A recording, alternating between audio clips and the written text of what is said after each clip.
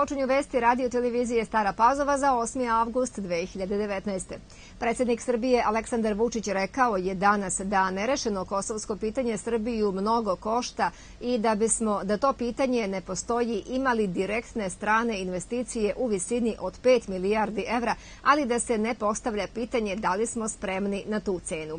Da nema tog pitanja bilo bi mnogo više, ali da li to znači ako sutra neko kaže Pirot nije vaš, da ćemo da kažemo zbog investicija da na to pristajemo, kazao je on. Predsednica vlade Ana Brnabić sastala se sa predstavnicima Udruženja metalske i hemijske industrije Privredne komore Srbije, sa kojima je razgovarala o tome kako ostvariti dinamičniji i održivi privredni rast.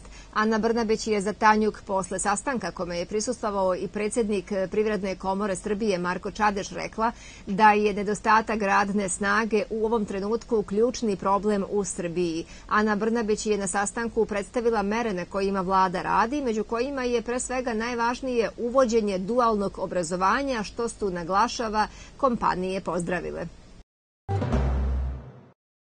Očekujem značajno povećanje minimalne cene rada, kaže ministar za zapošljavanje, boračka i socijalna pitanja Zoran Đorđević. Najavio je da će u narednih 10 dana održati sastanke sa poslodavcima i predstavnicima sindikata kako bi čuo njihove stavove, nakon čega će početi formalni pregovori o novoj minimalnoj ceni rada.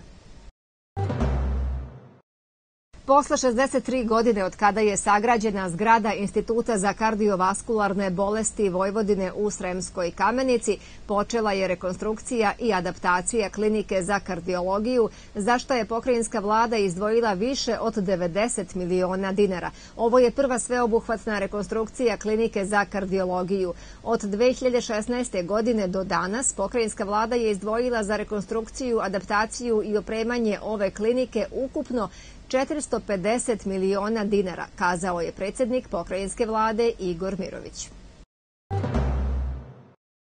Odeljenje za inspekcijske poslove i komunalne delatnosti opštine Stara Pazova učestvuje u kampanji uništavanja ambrozije i potencijalnih staništa larvi, tigrastih i kućnih komaraca u domaćinstvima. U propagandnom materijalu su uputstva na koji način u domaćinstvima jednostavnim metodama prepoznati i uništiti ambroziju, odnosno staništa larvi, tigrastih i kućnih komaraca.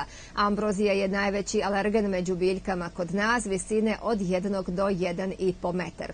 Stabljika joj je uspravna, razgranata i obrasla grubim dlačicama. Izgledom podsjeća na žbun. Uništava se mehanički čupanjem i košenjem, hemijski prskanjem i biološki podsticanjem razvoja drugih biljaka.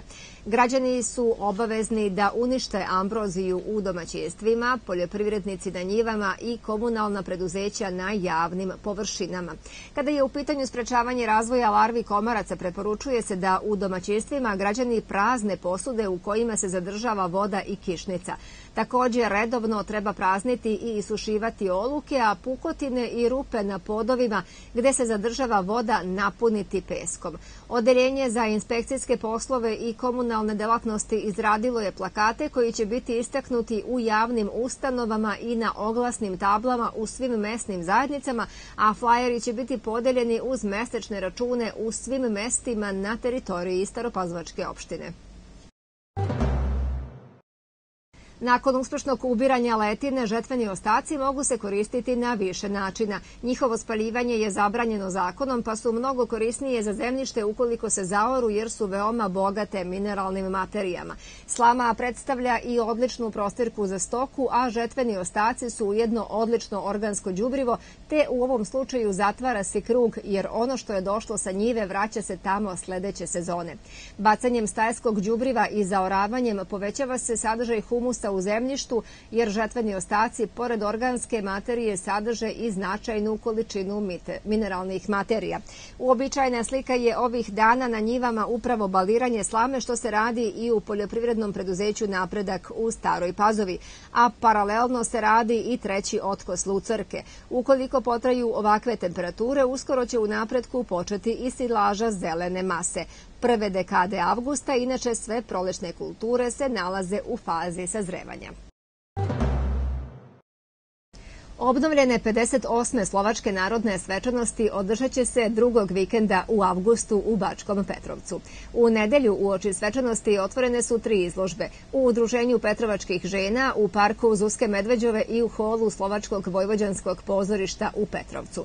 Juče je u izvršnom veću Arhiv Vojvodine priredio izložbu posvećenu stogodišnjici tri institucija Slovačkih narodnih svečanosti, Slovačke gimnazije kao i štamparije u Petrovcu. Danas u opštini Bački Petrovac bio svečani simpozijum Slovačke narodne svečanosti Baklja nacionalnog osjećanja, kao i svečana sednica Nacionalnog saveta Slovaka. Zvanično otvaranje predviđeno je za petak u 20 sati.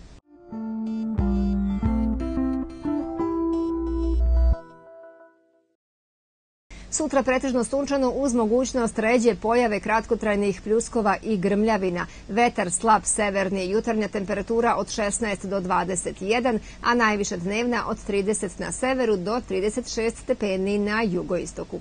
I toliko za današnje vesti. Hvala na pažnji.